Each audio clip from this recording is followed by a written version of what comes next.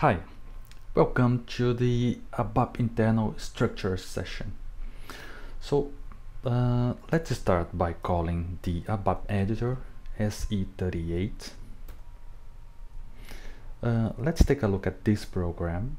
I'll click on the display button. And from here, I will navigate to this include program to show you the data definition session. So data definition session uh, is not executed when you debug. Do you know why? This is because it's used purely for data definition.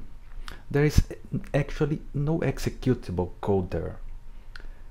Here it is where the auxiliary structures used by the program are defined.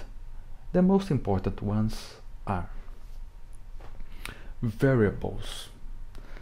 Variables are memory positions where a variable, basic one-dimensional data is stored. On the screen here in this session you can see a lot of variables used for a certain purpose.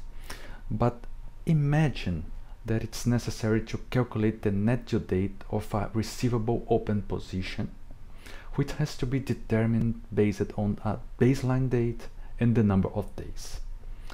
There is a standard function that can calculate the net due date for us, but we need to store it somewhere for future reference.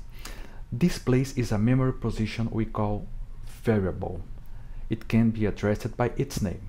Okay, so it's indeed very simple. These are all examples of variables.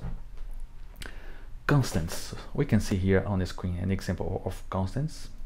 This is uh, one. So for instance, it might be necessary to know in a report if an amount is stored in US dollars or not.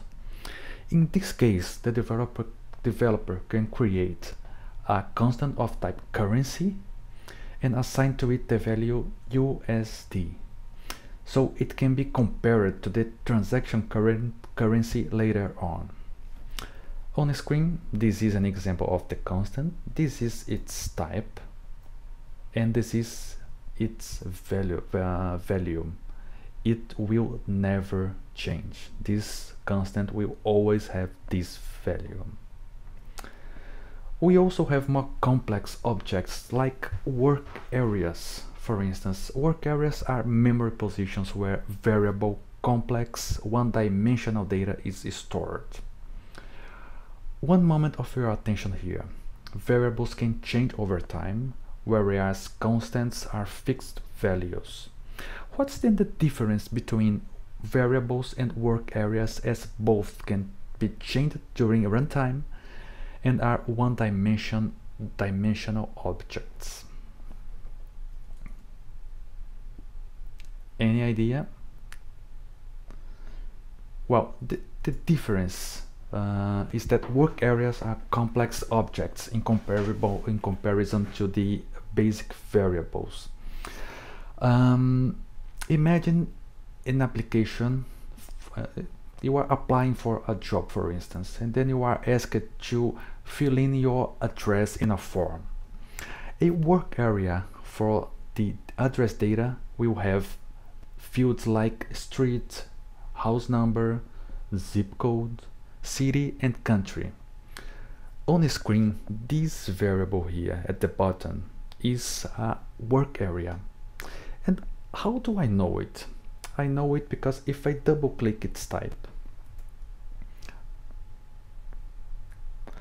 I can see that it's composed by two other structures each one with their own fields so if I double click here on the next type I can see that this type is composed by four fields and the same happens to the other one so it, it has its fields okay so the key uh, resulting work area is a combination of all these fields.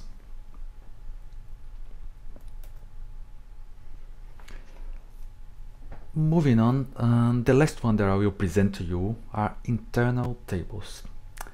Please pay serious attention here. because this object is crucial for the correct understanding of a program in a debugging session. Internal tables are also stored memory positions, usually used to store data retrieved from database table, tables or tabular data entered online by user. The main difference between this object and work areas is that internal tables are two-dimensional objects. So just having the, the, the, field name is not enough to obtain the data stored on it. Something else is required. In this case, I need to have the index or line number. Um, using the, the same example applied to the explanation of the work areas, I need to know a, a street in, in, in an address. To, to, to be able to do this, I need to know the line where this specific address is stored.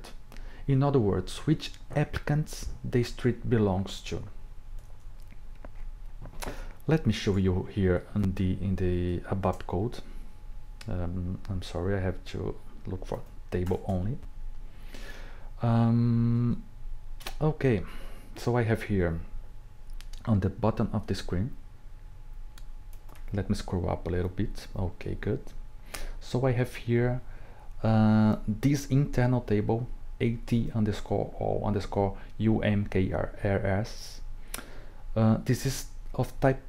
This is a table type table of this uh, field. So uh, I will have here, like I might have here, many lines, all of the lines referring to this object. So this is a complex two-dimensional object. I need to have uh, the, the, the field name is not enough for, for me to retrieve the information. I have to have the line where the information is stored.